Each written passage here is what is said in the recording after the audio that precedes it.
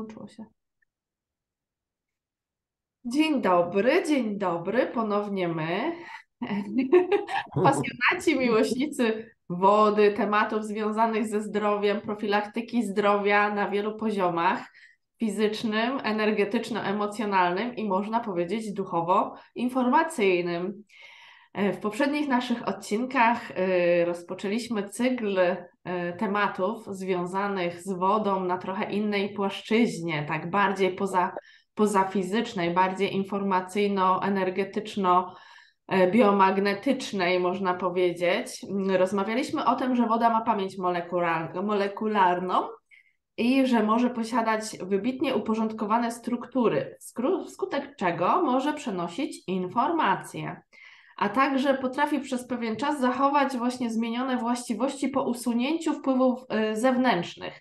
Także ona emanuje naszymi myślami, naszą energią, no załóżmy, że pod tym kątem, y, czy energią wydarzeń, jeszcze długo po po, po, po ustaniu tych wydarzeń, więc kumuluje, kumuluje tą informację i tę, tą cechę właśnie nazwano pamięcią strukturalną. Mi się tutaj jawi, Janusz, troszeczkę, że tak powiem, zasieje.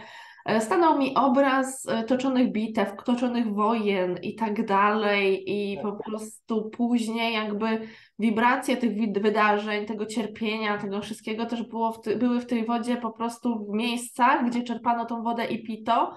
E, kumulowana. Gdyby taka woda była wykasowana, a już mamy możliwości, o czym mówiliśmy, kasowania informacji wody, przywracania jej do harmonicznego, pierwotnego, e, dziewiczego e, kształtu, to też by było jakby szybciej te traumy powojenne były prze, tak.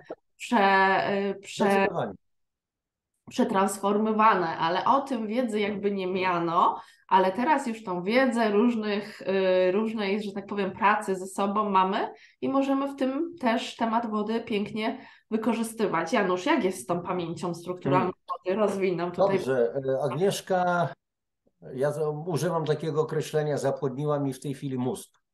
E, jak zwał, tak zwał, ale w każdym razie mam A swoje, zapłoniłam moc. Informacja, która do mnie przyszła w postaci obrazu.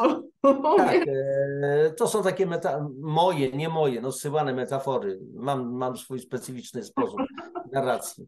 E, tak, Agnieszka. Woda, tak jak mówiliśmy poprzednio, to co mówił profesor Zenin, Stanisław Zenin, w wadakach dyskiata zapisywa naszą żyźń woda jak dyskietka zapisuje naszą żyźń, jak pen, e, życie, jak e, pendrive, jak twardy dysk, e, dysk komputera, nieważny, zewnętrzny, wewnętrzny, RAM, ROM, nieważne. I jest sprawa taka, że jeżeli na przykład dzisiaj oglądamy jakieś filmy mm, dokumentalne sprzed 20, 40, 50, 100 lat, to co mówiłaś o tych mm, trudnych rzeczach, wojny i tak dalej, no to na filmie to oglądamy i sobie przypominamy. To zostało zapamiętane w obrazie. Dzisiaj nikt praktycznie nie kręci na żadnej taśmie filmowej, bo jest zapis y, numeryczny, po prostu cyfrowy. A więc, a pytanie, a dlaczego nie mamy tego zapisywać na przykład na wodzie? Są dowody na to. Będziemy jeszcze chyba o tym mówić przy okazji doświadczeń Jacques'a Benveniste. Do wody, na to, do wody. Do wody, do, do wody, czytajcie, świetnie. Do wody, do wody. Yy, gra słów, przepiękna sprawa. Tak. I dlaczego nie miałoby być to zapisywane w pamięci wody? No jak to? A dlaczego by nie? A kto powiedział, że to jest niemożliwe? I teraz posłuchajcie, zacznę takim cytatem. Znaczy, zacząłem już, ale tutaj cytat miałem przygotowany. E, cytat z rosyjskiego profesora, profesora Pawła Goskowa. E, to był taki artykuł e, w rosyjskim internecie Mir, Mir Wody. Woda ciągle intrygowała naukowców swoimi anomalnymi właściwościami. W końcu na granicy XXI wieku główna tajemnica wody została wyjaśniona okazało się, że woda składa się z supermolekuł, tak zwanych klastrów lub komórek charakteryzujących się molekularną, heksagonalną, czyli sześciokątną, dodam tu od siebie, strukturą. Struktura jak, plast, jak struktura plastra miodu. Y, bardzo często spotykany y, przykład budowy w przyrodzie.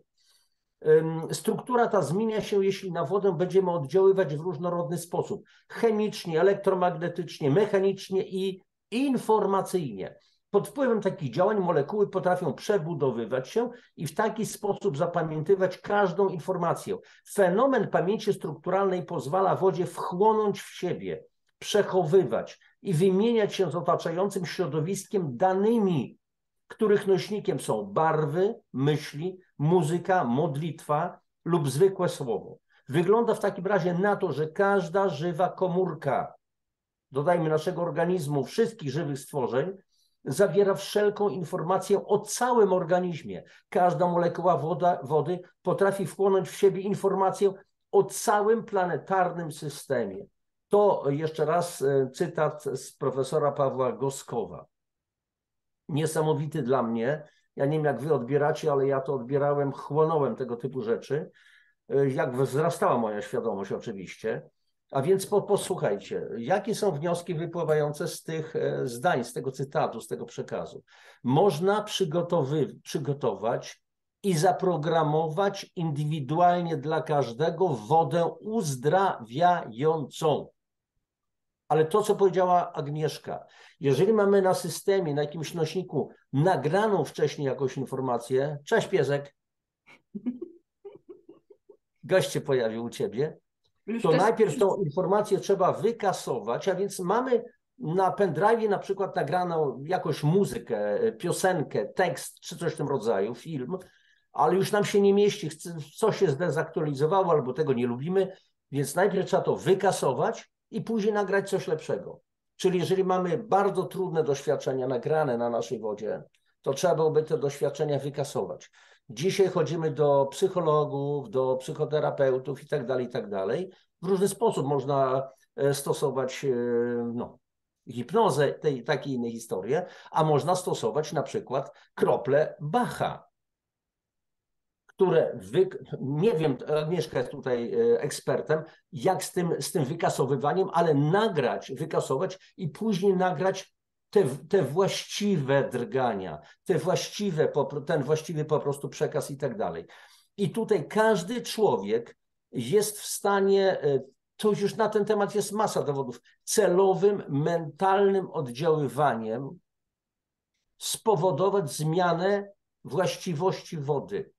I to w taki sposób, raz, bardzo źli ludzie, bo są tacy, mogą wprowadzić um, kody destrukcji. Wiem, ale nie będę rozwijał tego tematu, bo nie ma sensu. Mieszkam na Podlasiu, to tutaj różne rzeczy się dzieją. E, są panie, które, panie, które nie mając pojęcia o fizyce kwantowej robią pewne rzeczy, i są inni ludzie, inne panie, które modlitwami, całą swoją duszą, całym swoim sercem, energią czyszczą innych, którzy zostali skrzywdzeni.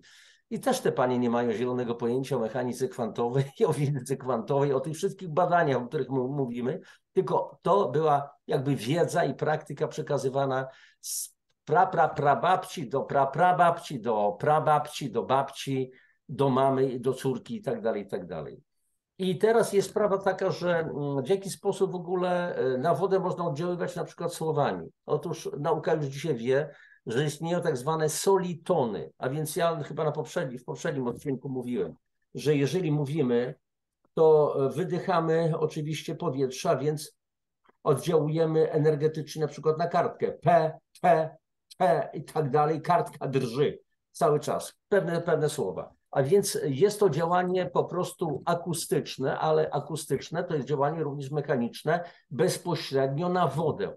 I teraz w związku z tym te słowa nasze kształtują tak zwane solitony, czyli specjalne wiązki.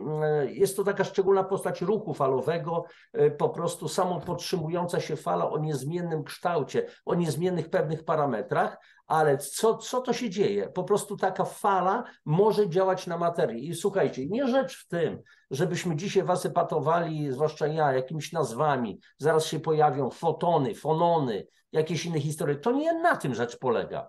Tu nie chodzi o zapamiętywanie, o racjonalne podejście, tylko chodzi raczej tutaj o poczucie tego wszystkiego, o nie tyle zrozumienie, ja nieraz powtarzam, że ja nie mam zielonego pojęcia o fizyce kwantowej, ale ja ją czuję. Akurat wczoraj z panem Piotrem Tymuchowiczem, y, no niesamowita w ogóle postać, na, prowadził szkolenie, uczestniczyłem w nim i tam kilka słów żeśmy zamienili, no parę ładnych zdań. I on też jest owładnięty tą fizyką kwantową, jak zaczął sypać różnego rodzaju y, nazwami, to szczęka opada z wrażenia, o, nie przypuszczałem, że on to zna i dla wielu ludzi byłoby to niezrozumiałe. W porządku, tylko że chodzi o raczej jeszcze raz poczucie emocjonalne, o czym my mówimy.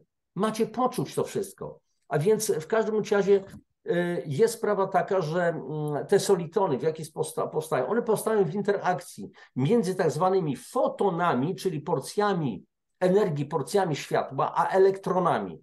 I wówczas to tak jakbym, wyobraźcie sobie, że biorę jakąś no, szpadel, młotek i biję w zawieszoną szynę. A więc moje uderzenie, czyli oddziaływanie mechaniczne, przeradza się w dźwięk. I powstaje wówczas tak zwany fonon. Jeżeli foton jest porcją energii świetlnej, to fonon to będzie taki, taką quasi porcją energii akustycznej, takim po prostu kwantem energii drgania sieci krystalicznej. I to powoduje niesamowite po prostu y, zmiany w naszym organizmie. Jest to w ogóle podstawa, y, podstawowe ma znaczenie dla wszelkich procesów życiowych, dlatego że to oddziałuje na DNA, ale o tym pewnie za chwileczkę powiemy sobie. Tak, rozmawialiśmy, że tutaj wchodzimy w świat medycyny informacyjnej, a tutaj to, to, do czego teraz wchodzimy, to też jest pewnego rodzaju medycyna wibracyjna, więc mhm.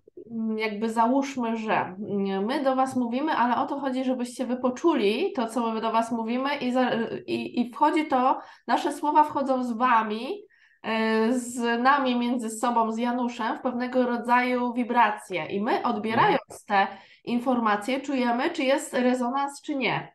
I tak my ludzie mamy odczuwać swoją wewnętrzną prawdę, czy coś jest nasze, czy coś nie jest nasze. Zawsze każdą przesyłaną informację od jakiegoś, od jakiejś osoby, od jakiegoś guru, od jakiegoś mentora, ja odbieram ciałem, nie umysłem, tylko patrzę, na ile on mhm. rezonuje z moją prawdą, która jest w moim ciele, bo to jest moja wewnętrzna prawda.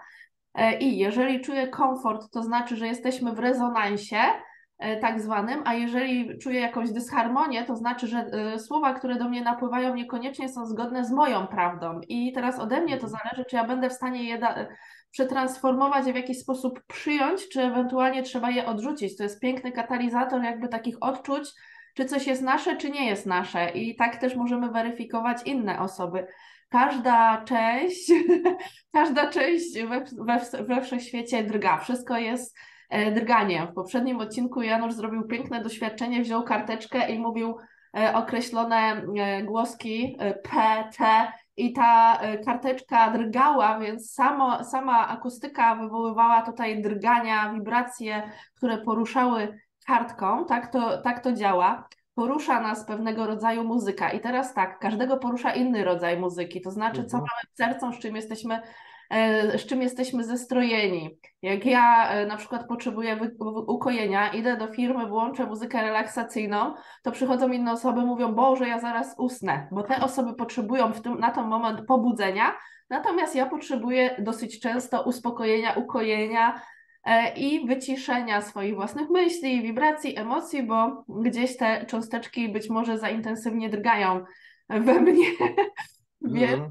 To jest też wszystko jest dla każdego i też pięknie tutaj powie, powiemy, y, dlaczego wszystko wibruje, drga i przesyła energię w przestrzeń, ponieważ każda rzecz, każda istota nosi w sobie, w sobie już wbudowaną tą energię, dzięki któremu wysyła swój sygnał w cały wszechświat, niczym operator radiowego nadajnika, ten, ten, tęskniący za kontaktem z innymi istotami. Kochani, na pewno poczuliście to, że czasami wchodzimy z interakcji z innym człowiekiem i mamy wrażenie, jakbyśmy się znali od lat, a czasami coś tam zgrzyta, że ta osoba nam nie odpowiada, bo jest być może, tak jak dla mnie, ja też otwarcie mówię, mówię niektórym osobom i one wiedzą, że ja mam inny, inny poziom nadawania sobą mhm. częstotliwości i dla mnie osoby za bardzo gadatliwe, za bardzo ekspansywne, za hałaśliwe, już wiedzą, że ja się nie, nie bardzo komfortowo będę czuła w ich w ich towarzystwie i nawet się z tego śmiejemy, bo sobie potrafimy, jesteśmy na tym etapie świadomości, że potrafimy sobie to gdzieś też przekazać, jak się mamy wzajemnie zestroić, tak? Bo to nie o to chodzi, że mamy przed sobą uciekać, zamykać się, tylko możemy też y, potrafić się y, zestroić ze sobą, żeby jednak tworzyć coś, no piękną, o, piękną orkiestrę. Symfoniczną, tak, wszystko gra. Symfoniczną, dokładnie. Zrobić coś wspólnie, ale... Bo, bo no, nie wytrzymam ja jestem e, gadułką, tak prawdę mówiąc. Jak wejdę na swoją falę, to e, wsiądę na, swojego, na swoją białą klaczkę, to galopuję. A ty powiedziała, że nie lubisz gadatliwych osób. To jest nie teraz chodzi takich za bardzo, za bardzo ekspansywnych, ale osoby, które nadają, nadają, ale nadają w moim tonie, to tak jak z, z, muzyką, tak jak ja Ci powiedziałam, Janusz, ja bym Cię mogła, my się poznaliśmy, Januszowi też powiedziałam, Janusz, mogłabym Cię słuchać godzinami bo ty śpiewasz tak jakby moją pieśń, wiesz o co chodzi, więc ja cię e, tak, właśnie ja mogę słuchać, bo owszem, jesteś gadatliwy, ale jakbyś mi gadał teraz o ciągnikach, e, czy wiesz, czy o konieczności, nie wiem, e, zakupu kolejnego sprzętu, e, nie wiem, jakichś parametrach sprzętu elektronicznego, które mnie kompletnie nie interesują, to ja też bym powiedziała, no sorry, nie moja bajka. Natomiast jak ty tak. opowiadasz mi historię z mojej własnej bajki, to ja, ja po prostu, tak jak pewnie odbiorcy nasi, bo mogę ich słuchać godzinami. Tak samo jak nasze mhm. filmy też nie są dla wszystkich, kochani. Jeden się znudzi, ojejku, ile oni mogą pitolić o wodzie. Natomiast... A my możemy, strasz... od razu wam was uprzedzę, że możemy, możemy bardzo długo. To jest któryś prawie, y, podchodzimy pod 20 odcinek niedługo, natomiast będą kolejne. E, I na przykład ja mam swoich znajomych, którzy śpiewają tą samą pieśń i oni nas potrafią słuchać, nawet z niecierpliwością czekają na jakieś tam opublikowane kolejne, kolejne nagranie. Więc to jest to, jakim, e, o czym się śpiewa, w jaki sposób się śpiewa. No i na ile się potrafimy tutaj zestroić, bo Janusz mówię, jakbyś o ciągnikach mi tutaj nadawał, czy o parametrach sprzętów elektronicznych, ale o ciągnikach też mogę, bo uczyłem o tym. Uwierz mi, nie wiem, czym bym była w stanie dla samej sympatii, jaką cię cię słuchać długo. Mm, tak, natomiast każda myśl, jaką kiedykolwiek mieliśmy, każde słowo, które kiedykolwiek wypowiedzieliśmy, każdy uczynek, e, który popełniliśmy, zabawia, zabarwia ten sygnał i kształtuje energię, jaką wysyłamy.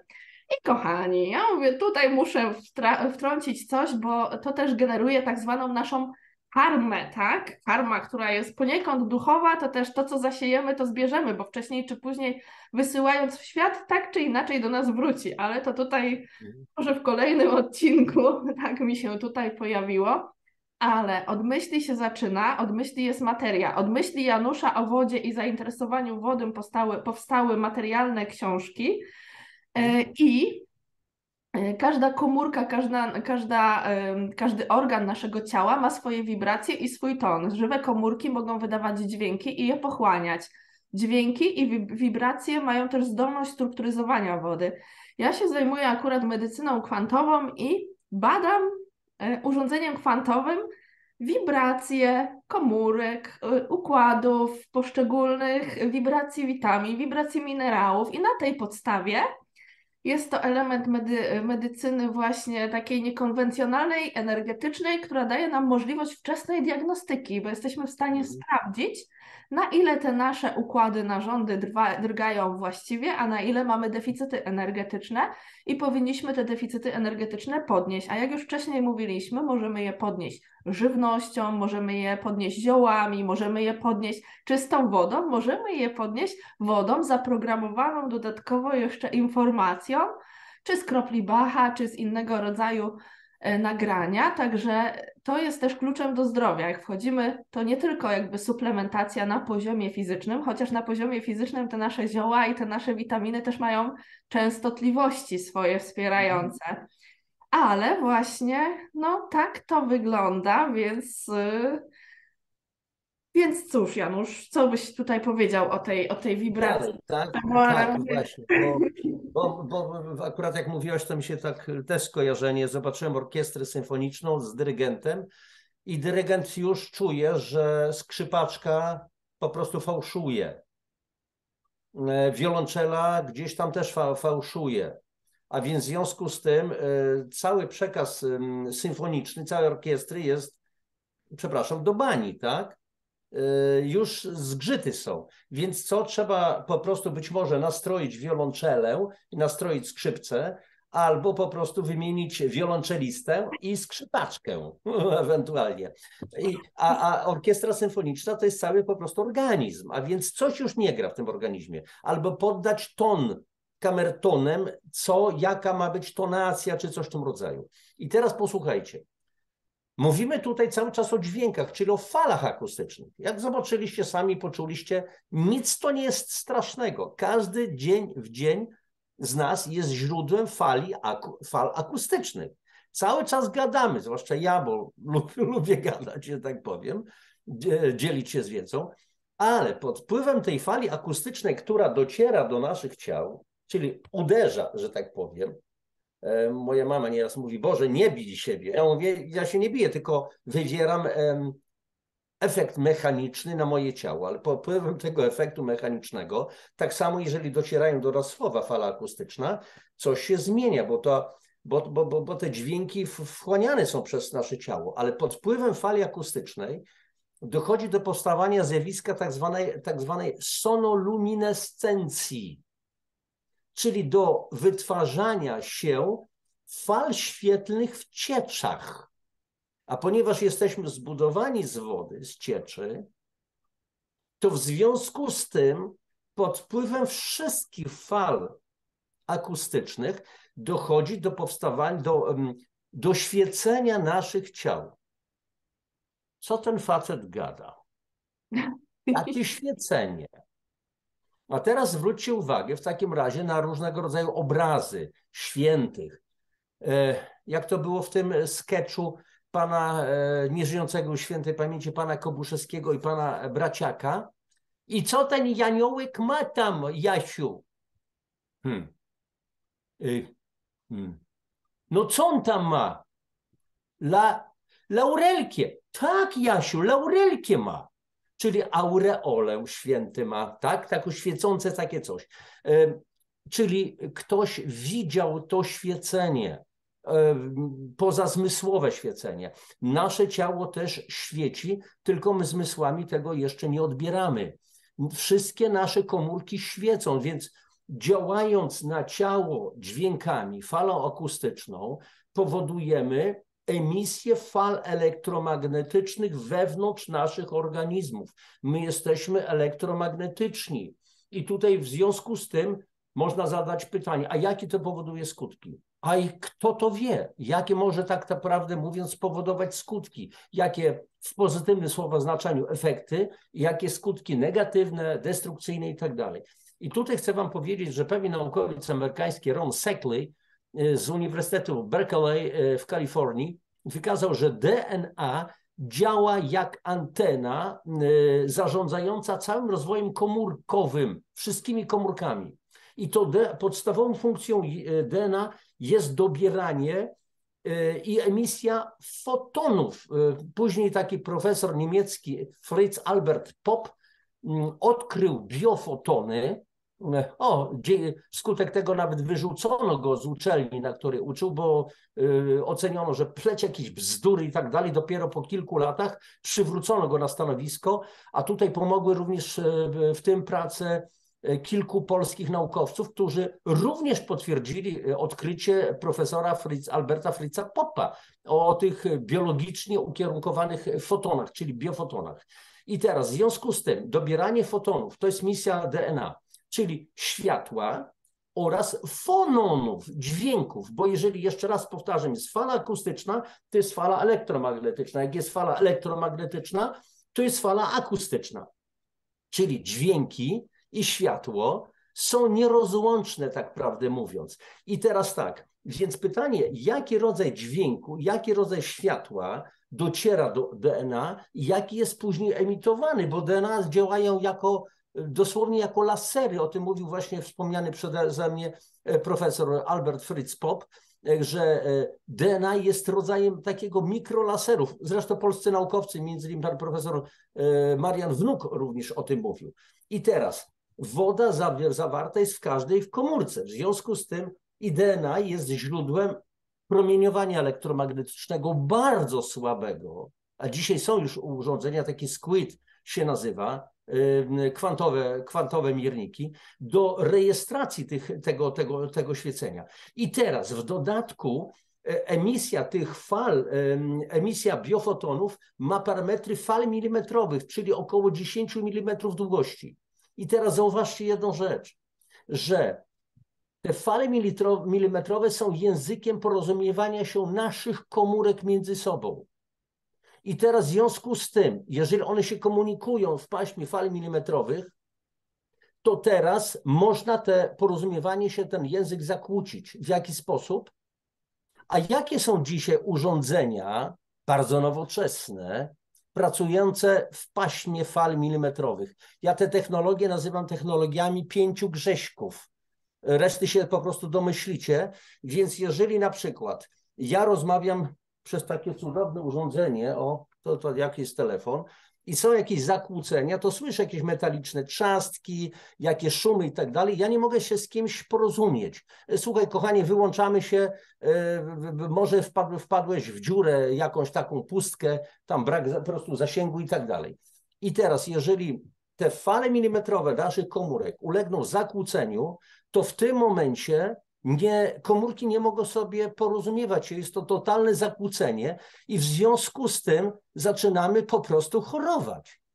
Jak e, dyrygent, który zwraca uwagę skrzypaczce, fałszuje dziewczyno, to tutaj e, to tutaj jest sprawa taka, że a ona nie rozumie, do niej nic nie, po prostu nie dociera. Oczywiście to jest troszeczkę absurdalny taki przykład, ale organizm jedno zafałszowanie powoduje następne zafałszowania. I Tutaj e, więc zmiany w wodzie wywołują, są wywoływane przez nasze słowa. Bardzo ważne, jakimi słowami się po prostu posługujemy. Więc e, te słowa, czyli fale akustyczne, w, wchodzą do wody w postaci tych wspomnianych przeze mnie solitonów, tych fal po prostu i budują z molekuł wod, wodnych skomplikowane zespoły, rodzaj paczek falowych e, stanowiących porcje informacji. Teraz znowu pytanie, pod wpływem, y, co się może dziać? Pod wpływem tych paczek fal woda tak jakby ożywa. Teraz pytanie jest tylko, w jaki sposób ożywa. Czy ożywa y, później destrukcją, działaniami destrukcyjnymi, bo mówiliśmy już, że woda jakby nagrywa na siebie informacje w sposób racjonalny, nie dzieli dobre, złe, tylko nagrywa jak na dyskietkę, jak na twarde dyski sprawa załatwiona. I to jest bardzo ważne. Więc ciąży na nas odpowiedzialność za, każde, za każdą myśl, za każde słowo, bo myśl jest też twórcza. Po prostu odpowiadamy dosłownie za wszystko. Trzeba naprawdę kontrolować swoje myśli, swoje słowa, jeżeli to zrobimy, wprowadzimy taki mechanizm, tak jakby autocenzury tej pozytywnej, to później będzie to po prostu, będzie to działanie automatyczne. Tak, dlatego z całego, z całego serca polecamy Wam właśnie krystalicznie czystą wodę, ale oczyszczoną też z informacji energetycznej miejsc, w którym przebywała, i tutaj jakby to oczyszczenie następuje, yy, mamy rozwiązania jakby jak mieć tą wodę oczyszczoną, natomiast woda tak naprawdę najbardziej uzdrawiająca to woda, która, yy, którą poddano obróbce indywidualnym, pochodzącym od konkretnego człowieka strumieniem energetyczno-informacyjnym który ma jednocześnie lepsze, lepsze parametry niż jakiekolwiek, jakakolwiek woda strukturyzowana przemysłowo ponieważ ta obróbka jest prowadzona z uwzględnieniem indywidualnych parametrów energetycznego pola tego konkretnego człowieka, z uwzględnieniem konkretnych parametrów struktury jego biopola i fizycznego całokształtu. Krótko przed naszym nagraniem mieliśmy tutaj dyskusję właśnie, ponieważ ja zamykam właśnie w wodzie wibrację indywidualną danej osoby. I tym oto sposobem mówiłam Januszowi, co zrobiłam przed naszym spotkaniem, żeby E, zharmonizować swoje, e, swoje biopole, które uległo pewnego rodzaju perturbacjom, czyli e, w, nagrałam na wodę informację moją indywidualną na dzień dzisiejszy, na tu i teraz, tego, co, czego potrzebuje moje pole informacyjne, które na skutek wydarzeń mhm. uległo zaburzeniu. Więc po pierwsze zostało to zmierzone, z pola informacyjnego szczytane. Akurat tutaj posiłkowałam się urządzeniem, bo ja czasami jakby robię to za swoim własnym pośrednictwem, a czasami wspomagam się urządzeniami zaawansowanymi kwantowymi. Yy, ukazało niedobory w moich centrach energetycznych, i taką skrojoną miksturę częstotliwości na moje potrzeby właśnie zapisałam sobie na wodzie. Akurat tu w tym momencie mam małą buteleczkę, natomiast e, dodatkowo zapisałam na dużej butelce wody, którą będę się dzisiaj e, uzdrawiać, nasycać, harmonizować i w ogóle. Natomiast taką tradycyjną też metodą programowania pod kątem indywidualnych, indywidualnego człowieka jest wkraplanie właśnie dedykowanych esencji na potrzeby danej konstrukcji, danych potrzeb tu i teraz człowieka. I to jest to ożywianie wody pod kątem naszych wewnętrznych e, emanacji i potrzeb. Też możemy to robić mentalnie, bo jeżeli potrzebujemy wybaczenia, możemy wpuścić do, wodę, do wody energię właśnie wybaczenia i zwykle programować wybaczam ci. Jeżeli ktoś nam coś, y, coś, że tak powiem, przykrego zrobił, a chcemy uruchomić i y, zrównoważyć tą emocję, to wystarczy, że zaprogramujemy sobie wodę i tym samym oto proces tego wybaczenia tej osobie też pójdzie szybciej. Tak samo możemy przekazać czy energię miłości, czy energię spokoju na wyciszenie. Kochani, możemy być naprawdę uzdrowicielem dla samych siebie za pośrednictwem właśnie tego, co Janusz mówił, informacji, e, informacji, którą możemy przekazać różnymi, różnymi, najróżniejszymi metodami e, właśnie wodzie. Także co Janusz jeszcze powiesz, że możemy wpływać e, na... Tak, co ja powiem, zacytuję, znaczy mam dwa cytaty, ale tutaj w tej chwili cytat z profesora Pawła Goskowa. Na wodę można wpływać różnymi oddziaływaniami, zmieniając jej strukturę. Może ona, podobnie jak na magnetycznej taśmie, zanotować wszelkie informacje. Zrozumieliśmy, że energetyczne ciało człowieka, jego aura, wpływają na wodę, zmieniając jej właściwości. Więc to jest pewna ilustracja do tego, co ty, o czym ty e, przed chwileczką po prostu powiedziałaś. A więc można przygotować indywidualnie uzdrawiającą wodę, nagrać na nią, na wodę pewne po prostu informacje i dotyczące konkretnego przypadku, konkretnej osoby, dokonać tak zwanego transferu informacyjnego, jak jest transfer, transfuzja krwi na przykład, to można dokonać transfuzji informacyjnej z człowieka do człowieka, z urządzenia pewnego do człowieka, z wody po prostu do człowieka.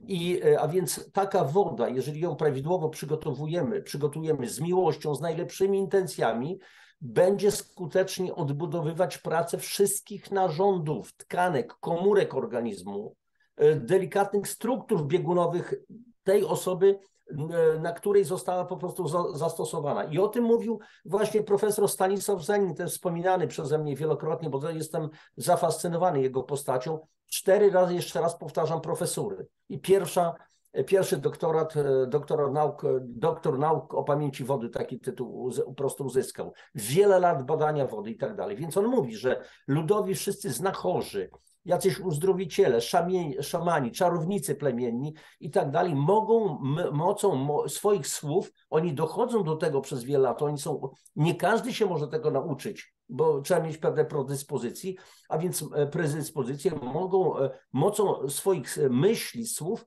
wpływać na strukturę wodną. Oni o tym nie mają pojęcia, jak to się dzieje. Oni wiedzą, że to po prostu ma to robić, tak to działa i sprawa po prostu załatwiona. Więc profesor Zenin odkrył, że istnieje po prostu czwarty stan wody, nie tylko gazowy, czyli para, nie tylko y, ciecz, nie tylko lód, czyli ciało stałe, tylko oprócz fazy właśnie tej ciepłej, stałej gazowej jest stan fazy informacyjnej, która pozwala zapisywać wszelkie informacje chemiczne, biologiczne, elektromagnetyczne, wszystkie. I tutaj są y, jakby dwa rodzaje pamięci wodnej mm, pierwotna, krótkotrwała i długoterminowa. Więc ta pierwotna to jest coś takiego, że coś usłyszałeś sobie w telewizji, o, wleciało jednym uchem, wyleciało drugim uchem. Nie zwróciliśmy uwagę, uwagi. Ale jeżeli ta sama informacja będzie podawana wielokrotnie, czyli na zasadzie, przepraszam, e, to bardziej negatywny e, przykład, zasady Goebbelsowskiej, że kłamstwo powtórzone 100 razy staje się prawdą. Powtarzane, powtarzane, powtarzane, powtarzane, powtarzane, powtarzane, powtarzane i tak dalej. Nawet nie wiemy, kiedy to weszło w nas, i staje się po prostu naszą prawdą i to jest wówczas pamięć po prostu długotrwała. I to jest rodzaj takiej bardzo mocnej matrycy, gdzie zmieniono taki betonowy po prostu ślad, tak prawdę mówiąc. I już na koniec, słuchajcie, jeszcze jeden tutaj cytat mam przygotowany. będziemy kończyć, bo już mało czasu, minuta została. Znaleziono nowy stan substancji informacyjny. Oznacza to, że w przypadku oddziaływań mentalnych ze strony ludzi powinni oni wpływać na wodę przez odpowiednio długi czas wyjątkowo silnie emocjonalnie, aby nadać jej odpowiednie właściwości. Przestały więc być bajką opowieści o czarownikach posługujących się martwą żywą wodą. Przeniknięcie do struktur o nanowymiarach pozwoliło zobaczyć klastry wodne skupiające molekuły wodę, wody w charakterystyczny sposób pod wpływem czynników zewnętrznych, myśli, słów, muzyki, pola magnetycznego, substancji chemicznych itd. Profesor Zenin. I ostatnie zdanie, y, cytat z profesora Borysa, Borysa Kocha, Wydział Badań Polarnych i Morskich w Instytucie Alfreda Wegenera w Niemczech. Każde zdarzenie zostawia swoje ślady w wodzie. Woda niczego nie zapomina. Ale Wszystko no właśnie, kochani, nie należy lekceważyć. kończymy, bo mniej niż minutę. Tak. E, Nie należy lekce- lekceważyć tej mocy, która w tej wodzie jest. Woda niczego nie zapomina, nie zapomina, woda jest wszystkim. Zapraszamy Was do śledzenia naszych kolejnych nagrań, w którym nadal będziemy inspirować i e, drążyć ten temat, a, ty, a tymczasem polubcie nas, bo my Was lubimy oczywiście, a nawet kochamy, więc polubcie też nas, polubcie nasze nagrania i obserwujcie nas dalej. Tymczasem życzymy dużo, dużo zdrowia i obserwujcie nas w, naszych social mediach. Pozdrawiam. Najlepszego Wam życzę, jak zawsze. Pa.